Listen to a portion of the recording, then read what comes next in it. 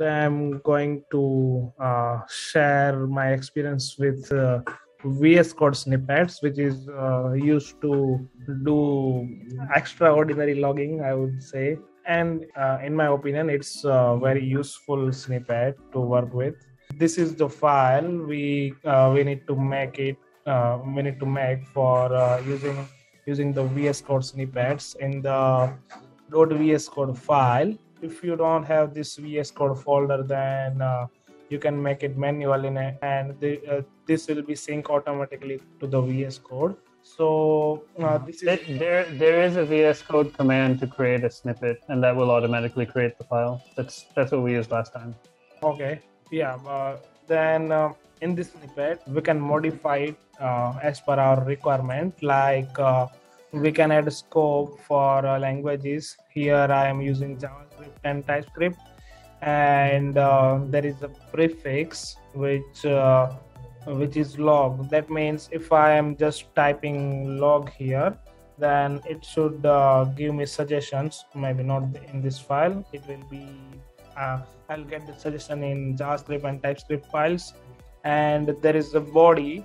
And uh, we can see this thing in body and uh, we will get uh, something similar uh, similar uh, while while logging. And we will get to that very soon.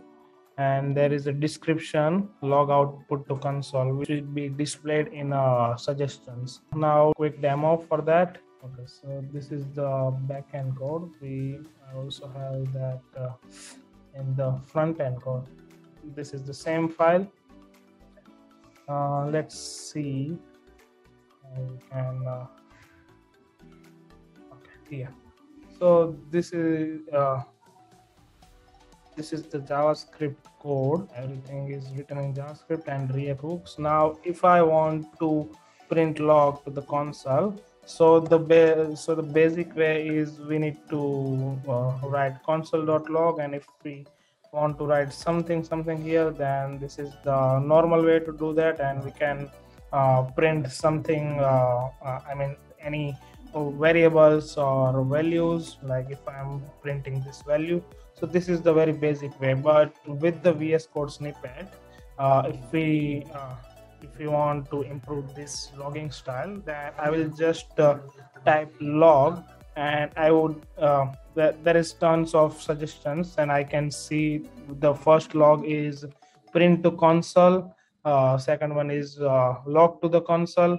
So if we look uh, into our file uh, we can see there is a log output to console. So uh, log, log output to console is a description and the print to console is uh, is a key of our object. So if i just select the first suggestion print to console. It would give some uh, uh, information by default like uh, the first first parameter will be name of the file which is index.js the second argument uh, i mean the second detail is the line number which is 270 and uh, we can uh, while while entering on the first suggestions we will get two cursors by default. So if we are uh, just uh, just suppose there's the page count on pagination which is on line number 266 if i want to log it then i would just uh, write it here. So uh, value of uh, value of this variable is already here and we can see it as a as a string as well. So uh, this thing i mean vs code uh, log uh, log snippet is very hel- helpful for uh, debugging uh, with uh, with so much informations like file name line number and some additional information which which we want. And there are so many there are so much others other things which we can which we can include in the body so uh, let me just give you walkthrough for the body. So in here the uh, under the console log the first uh, first argument we can see is uh, uh, dollar sign tm underscore file name which will uh, basically print out the name of the file. There is a backslash t which means the tab space. So there will be a tab space, something like here. And uh, the second argument is uh, dollar sign uh, tm underscore line underscore number, which will print line number. Basically, there is a tab space once again and uh, this dollar one means the blank space so if we have this one uh, dollar one uh, argument here and one more dollar one argument here then we will we will have two cursor at the moment by default. If i add one more here uh, and i would like to add two tab spaces and let's see how the next uh, console is looking like. See if i now i'm going to use this. So you can see if uh, after after adding one more um, one more dollar sign with uh, uh, string one i would be i'm able to write it for three times. So that's uh, so that's basically uh, uh, cursors uh, I, uh, we can say. And that that's a value too. And the other thing if i want to add new line with with every console log then i can uh, add dollar sign 2 and uh, it would uh, it would automatically have one uh, one new line after every console log. So mm, this is uh, this is how this snippet is working and there are so much other informations too which we can add here and modify the snippet as per our requirements Did you do a demo combining this statistics, this snippet with the multi-cursor? Because I think that's where the line number is really powerful. Yeah so sorry what I, do you remember the other day we did a multi-cursor selection of all the semicolons, all the semi and then we used the snippet? uh yes Do you want to do a demo of that? Uh, yeah, I would like to, but I'm not sure uh, if I'm going to find curse, uh, semicolons. So many, I, mean, so much semicolons on this file. Uh, I mean, uh, let's let's have a look on the file which we used for demos demonstration. Uh, not variant is firebase.js. Yes this one file this one okay it, it's already having so many logs mm, Yeah. Can you can you just delete them and then uh, we'll recreate them? sure sure